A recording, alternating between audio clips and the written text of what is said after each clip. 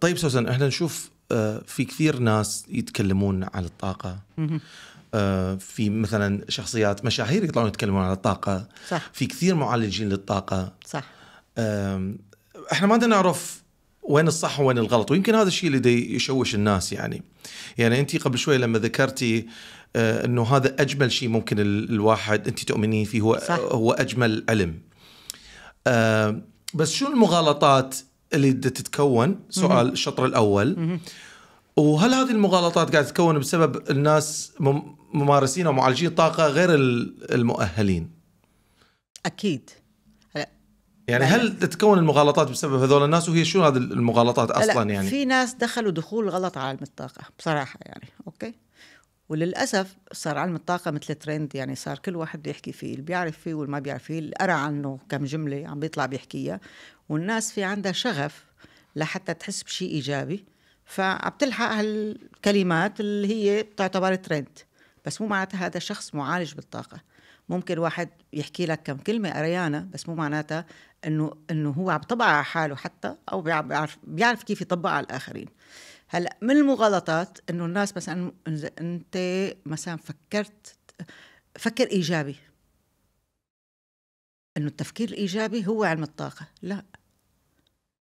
أنت أول شيء لازم تطالع الطاقة تبعتك وتطالع السلبيات الموجودة حتى تقدر تفكر إيجابي. أنت إذا ما تخلص من الطاقات السلبية بداخلك كيف بدك تفكر إيجابي؟ يعني لازم أفرغ السلبي حتى. أدخل الايجابي مثل ما هذا هو اللي حكينا. فيه ف أو مثلا علم الطاقة هو مثل السحر. رح يحقق لك المعجزات. هو علم الطاقة مثل السحر رح يحقق لك المعجزات بس أنت استخدمت الطاقة.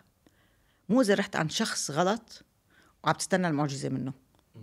المعجزة ما بتجي من الأشخاص حتى ما بتجي مني. لما أنا عم بقول لك إنه هذا هو علم الطاقة المعجزة بتجي منك. لما أنت تفعل الإنرجي تبعك والطاقة تبعك. فالناس بدها تستخدم علم الطاقة بطريقة غريبة.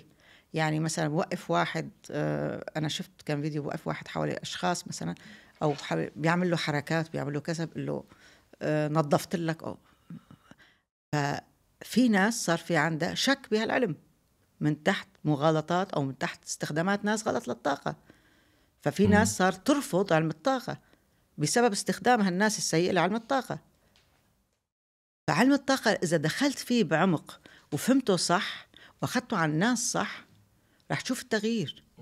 أو إذا في ناس هالاستخدامات الغلط والتعامل الغلط والناس اللي ما بتفهم بعلم الضاق- الطاقه صارت تدخل وتحكي كلمتين وصارت هي آه، يعني صار في عندها حسابات وصار في عندها account ات على ال energy وصارت هي بتفهم بال energy فالناس صار بالنسبة لها إنه لما بتشوف حتى فشل بهالشخصيات شخصيا لإلهم بتقول لك إنه شو هال energy اللي هي بالأصل؟